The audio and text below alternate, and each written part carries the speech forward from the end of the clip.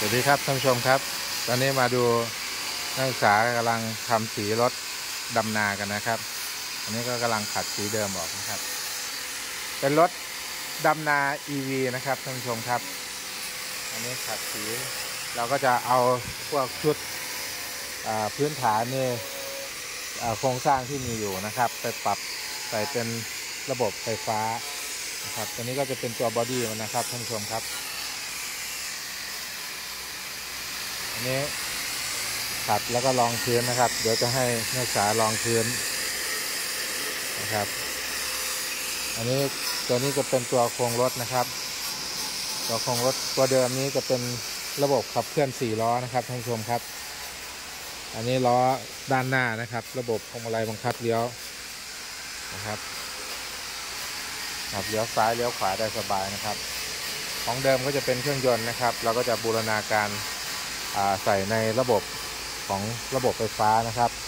ส่วนด้านหลังจะเป็นตัวยกดัมนะครับ ตัวขับเคลื่อนเนี่ยจะใช้เป็นเครื่องยนต์เหมือนเดิมนะครับ เครื่องยนต์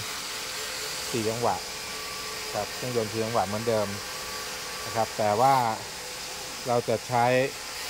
ระบบยกดัมนะครับ เป็นระบบไฟฟ้า ระบบไฟฟ้ายกตัวหัวหัวดำนะครับ หัวดำนา มา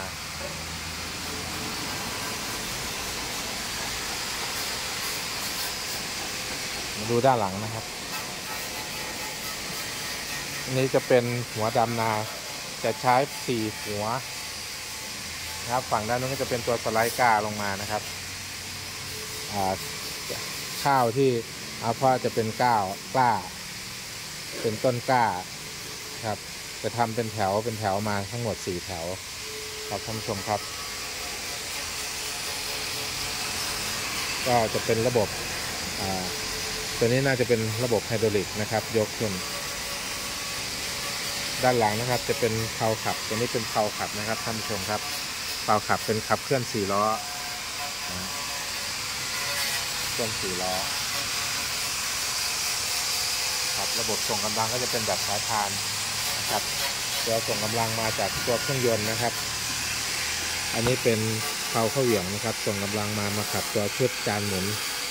การหมุนตัวนี้ก็จะมาขับเคลื่อนเกียร์นะครับ เกียร์ก็จะมีเกียร์ high กับเกียร์ slowเดี๋ยวเรอดูตอนเสร็จนะครับ อันนี้ก็เป็นอ่าก็บูรณาการนะครับนำของอาที่มีอยู่แล้วมาดัดแปลงนะครับ เพื่อให้นักศึกษาได้มีองค์ความรู้ในการสร้างพัฒนาโครงงานนะครับ อันนี้กลุ่ม ทำโครงงานสิ่งประดิษฐ์นะครับ เป็นกลุ่มรถไฟฟ้ารถดำนา EV นะครับก็พยายามให้เขาได้ศึกษาในหลากหลายนะครับ เป็นการบูรณาบูรณาการองค์ความรู้นะครับท่านชมครับ ครับตัวที่เห็นอยู่เนี่ยนะครับท่านชมก็จะเป็นตัว ตัวด้านหน้านะครับ เป็นเป็นแฟลิงนะครับด้านหน้าแล้วก็เป็นเบาะรองนั่งที่พ่นสีเสร็จนะครับ อันนี้ก็เหมือนกันนะครับเป็นตัวยึดอุปกรณ์ต่างๆครับตัวนี้เป็นแฟลิงตอนช่วงคอนโซลด้านหน้านะครับ ใต้พวงมาลัยทางด้านอันนี้ก็จะเป็นอ่าพ่นสีใหม่นะครับ เป็นสีส้ม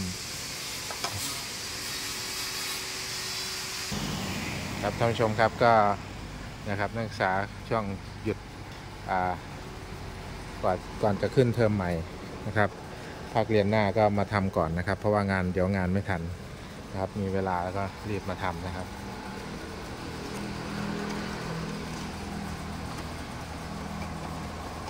ครับท่านชมครับเดี๋ยวถ้าพ่นสีหรืออะไรเสร็จเดี๋ยวก็จะถ่ายมาให้ดูอีกรอบหนึ่งนะครับ